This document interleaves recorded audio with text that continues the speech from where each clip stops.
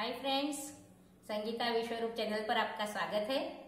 आज हम बनाएँगे हैदराबादी भगरा बैंगन। हैदराबादी इसका नाम है पर ये सब्ज़ी ऑल ओवर इंडिया में बहुत ही ज़्यादा पॉपुलर है और हर बड़े रेस्टोरेंट के मेनू कार्ड में यह सब्ज़ी अवश्य होती ही है। तो ये बैंगन वैसे तो एक ब्लैंक टेस्ट होता है बैंगन का। इस, इसलिए इसकी सब्ज़ी की जगह इसका भरता बहुत ज़्यादा पसंद किया जाता है। आज हम इस हैदराबादी भगरा बैंगन की सब्ज़ी को बहुत ही टेस्टी और बहुत ही लजीज बनाएँगे। तो आइए, अब हम इसके इंग्रेडिएंट्स देखते हैं। इंग्रेडिएंट्स देखने से पहले मेरी आपसे रिक्वेस्ट है कि प्लीज़ आप मुझे मेरे चैनल संगीता विश्वरूप पर अवश्य सब्सक्राइब कीजिए और मेरी रेसिपी को अधिक से अधिक शेयर कीजिए। भगरा हैदराबादी बगरा बैंगन बनाने के लिए हमें चाहिए लाल मिर्च पाउडर, हल्दी पाउडर जीरा पाउडर रोस्टेड जीरा पाउडर है ये, गरम मसाला, धनिया पाउडर, ये मैंने लिए है रोस्टेड चने हैं ये। आप इसकी जगह रोस्टेड चने की दाल आती है वो ले सकते हैं, या फिर बेसन को भी भून कर आप ले सकते हैं, इसे हमें ग्राइंड करना है। ये इमली का पल्प लिया है, नमक, दो प्याज मैंने बड़े टुकड़ों में काट कर लिए हैं। हरी मिर्च बड़े टुकड़ों में काट कर अदरक को बड़े टुकड़ों में काटा है, लहसन को थोड़ा बड़े टुकड़ों में काटा है। यहाँ पर मैंने लिया है रोस्टेड तिल का पाउडर है रोस्टेड मूंगफली का पाउडर है, और ये ग्रेटेड नारी, नारियल है, ये सूखा नारियल है। इसकी जगह यदि आपको फ्रेश कोकोनट मिलता है तो आप अवश्य लीजिए। ये मैंने बैंगन को बघार देने के लिए करी पत्ता कलौजी थोड़ा सा जीरा और थोड़ा सा मेथी दाना लिया है, साबुत मेथी दाना है, और तेल, हरा हरा धनिया और 300 ग्राम बैंगन है। सबसे पहले हम बैंगन भरने के लिए मसाला तैयार करेंगे। इसके लिए दो चम्मच रोस्टेड मूंगफली का दरदरा चूरा है, दो चम्मच रोस्टेड तिल का चूरा है, और ये ग्रेटेड नारियल है। इसकी जगह आप, मैंने जैसे पहले बताया फ्रेश नारियल भी ले सकते हैं। और अब मैंने रोस्टेड भुने हुए चने को बारीक पीस लिया है। इसकी जगह आप रोस्टेड चने की दाल ले सकते हैं या भुना हुआ बेसन भी ले सकते हैं। ये भी मैं इसमें मिला रही हूँ। सब दो दो चम्मच लिया है मैंने। इसमें अब मैं मिलाऊँगी हल्दी पाउडर। थोड़ा सा वन फोर्थ टी स्पून हल्दी पाउडर। और लाल मिर्च पाउडर, वन टीस्पून लाल मिर्च पाउडर, गरम मसाला हाफ़ टी स्पून इसमें मिलाएँगे। धनिया, जीरा पाउडर है, रोस्टेड जीरा पाउडर, ये भी हाफ़ टी स्पून इसमें मिलाएँगे। और अब धनिया पाउडर, ये भी हाफ़ टी स्पून इसमें मिला रही हूँ। और स्वादानुसार अब हम इसमें मिलाएँगे नमक। नमक मिलाने के बाद अब हम इसमें मिलाएँगे थोड़ा सा एक टेबल स्पून तेल। और सबको मिक्स करेंगे।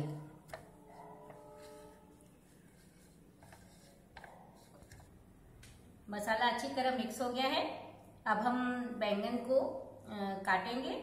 इस तरह से बैंगन को हमने सारे अच्छी तरह से धो लिए हैं और ऊपर से हमें इस तरह से इसको क्रॉस में काटना है। एक इधर से हमने काटा और अब इस तरह से ऊपर से इस तरह बैंगन को क्रॉस में काटना है। सारे बैंगन में इसी तरह काट के रखती हूँ। ये मैंने सारे बैंगन को इस तरह से काट लिया है। मैंने ये इस टाइप से थोड़े हरे देसी बैंगन लिए हैं। इसमें थोड़े कांटे होते हैं। वो सब मैंने साफ़ कर लिया है, पर ये बैंगन बहुत ही स्वादिष्ट होते हैं। अब इस बैंगन में हम मसाला भरेंगे। अच्छी तरह से मसाले को अंदर तक स्टफ़ करेंगे।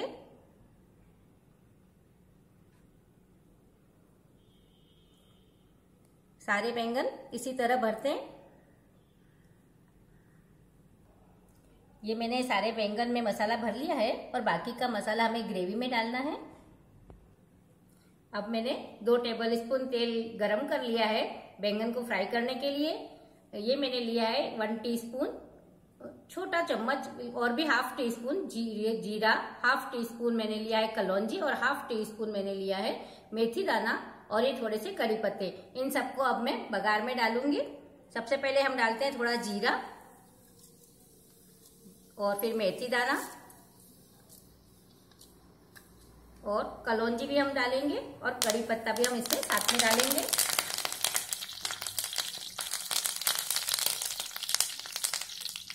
हल्का सा सबको भून लेते हैं और गैस को थोड़ा धीमा कर लेते हैं।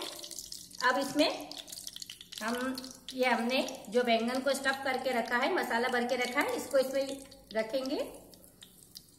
सारे बैंगन रखेंगे और इसे हमें अब धीमी आँच पर सात आठ मिनट के लिए हमें इसे पकाना है। बीच बीच में हमें इसे चलाते भी रहेंगे। सब दूर से एक तरी, एक साथ ही फ्राई हो जाए। थोड़ा सा बीच बीच में हमें इसे ध्यान रखना है और इस तरह से चलाते रहना है इसको। अभी मैं इसको ढक के सात आठ मिनट के लिए धीमी आँच पर पकाती हूँ। जब तक हमारे अब बैंगन फ्राई हो रहे हैं तब तक हम ग्रेवी के लिए मसाला तैयार करते हैं। ये मैंने लिया है दो प्याज बड़े टुकड़ों में काट कर लिया है। इसको पहले हम मिक्सर जार में लेंगे। और ये है अदरक, मिर्ची और लहसुन को भी बड़े टुकड़ों में काट लिया है। इसको भी मिक्सर जार में लेते हैं। ऑलमोस्ट दो मिर्ची, पाँच छः कली लहसुन और एक छोटा टुकड़ा अदरक का सबको मिक्सर जार में लेकर हम इसे पीसेंगे बारीक।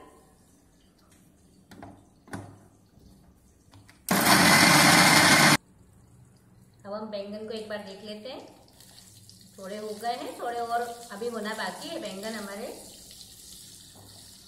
अच्छी तरह इसको पकाना है।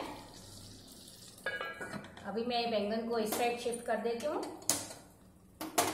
और इधर हम ग्रेवी के लिए पैन गरम करेंगे।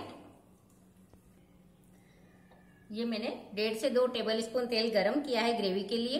अब हम इसमें, ये प्याज, अदरक, लहसुन और मिर्ची की ये ग्रेवी इसमें डालते हैं। इसको पीसते वक्त आपको ज़रूरत लगे तो आप थोड़ा पानी भी इसमें डालकर पीस सकते हैं। अब हम यहाँ तेल में ग्रेवी को अच्छी तरह हमें भूनना है। इसकी रो स्मेल निकल जाए तब तक। ये सब्ज़ी मैंने पहली बार ऊटी के एक रेस्टोरेंट में खाई थी। मुझे शुरू से ही नई नई रेसिपीज़ बनाने का बहुत शौक है। तो मैंने तुरंत ही वहाँ के वहाँ के शेफ से इस रेसिपी के बारे में जानकारी ले ली थी और घर पे आके इसको दो तीन बार ट्राई किया इस सब्ज़ी को मैंने। ऑलवेज संडे को मैं ये सब्ज़ी बनाती हूँ और कोई मेहमान आए तो दो तीन सब्ज़ी में ये सब्ज़ी तो मेरी एक ज़रूर रहती है। बहुत ही अच्छा एक हैदराबादी इसमें अलग ही फ्लेवर है टेस्ट है। आपको भी ज़रूर पसंद आएगी। आप अवश्य इस सब्ज़ी को ट्राई कीजिए। अब ये मैंने इधर बैंगन हमारे पक गए हैं, गैस को बंद कर देती हूँ और ये इस प्याज को अभी थोड़ा और भुनेंगे हम। ये मैंने अच्छी तरह मसाला, लहसुन प्याज का भून लिया है, तेल भी छूटने लगा है। अब इसमें सारे सूखे मसाले डालेंगे हम। वन फोर्थ टी स्पून हल्दी पाउडर और लाल मिर्च पाउडर दो टीस्पून। मैं डाल रही हूँ। आप आपके स्वादानुसार इसे डाल सकते हैं, कम ज़्यादा कर सकते हैं। और जीरा हाफ़ टी स्पून धनिया powder half teaspoon garam masala half teaspoon सबको मिक्स करते हैं।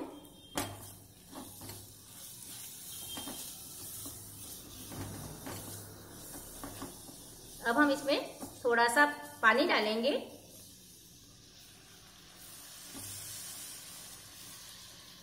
ग्रेवी बनाने के लिए।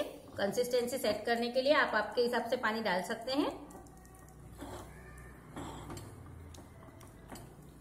थोड़ा सा पानी और मिक्स कर रही हूँ मैं इसमें।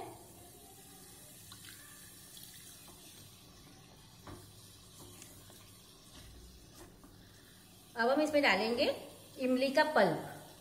थोड़ा सा गैस को धीमा करते हैं और थोड़ा एक टेबल स्पून इमली का पल्प इसमें मिक्स करते हैं। इसका एक बहुत ही अच्छा अलग फ्लेवर आता है, साउथ इंडियन फ्लेवर। हैदराबादी सब्ज़ी में ये बहुत ज़रूरी है। इसकी जगह वैसे आप नींबू का रस भी यूज़ कर सकते हैं। जब आप स्टफिंग स्टफिंग भरते हैं, उस समय आप उसमें नींबू का रस मिला सकते हैं। अब इसमें हम थोड़ा सा नमक डालेंगे स्वादानुसार।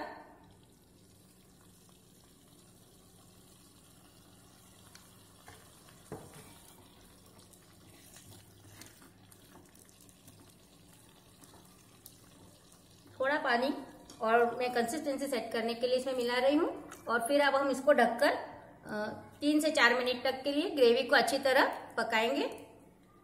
धीमी आँच कर देते हैं और ढककर इसे पकाएँगे तीन चार मिनट हो गए हैं। हमारी ग्रेवी भी अच्छी तरह मिक्स हो गई है, पक गई है। अब ये बचा हुआ मसाला मैं इसमें मिक्स कर देती हूँ। अब मैं अपने ये ग्रेवी को इस बैंगन में मिक्स कर रही हूँ। इसको अब हम ढककर एक मिनट के लिए और पकाएँगे।